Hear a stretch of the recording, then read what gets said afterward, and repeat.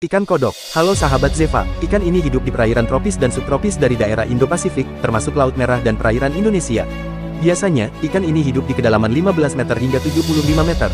Akan tetapi, kebanyakan dari ikan ini hidup di kedalaman 15 meter dan bersembunyi di daerah bebatuan, terumbu karang, atau spons laut.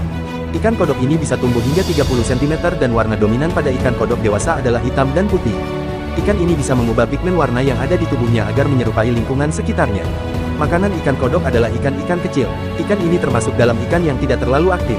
Bentuk dan warnanya menjadikan ikan kodok mudah untuk menyamar karena terlihat seperti bebatuan.